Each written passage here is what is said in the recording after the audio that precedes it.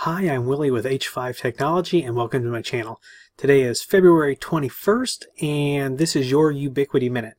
And what we're going to talk about real quick is the Edge Router 6 port with PoE is now in general availability and is available on the Ubiquiti store, which means that suppliers, uh, distributors, should also have the product. So you get a similar form factor to the Edge Router 4, but you get five Ethernet ports, five copper ports, one gig ports that do PoE, uh, 24 volt passive out. You get that 4 core 1 gigahertz MIPS64 processor.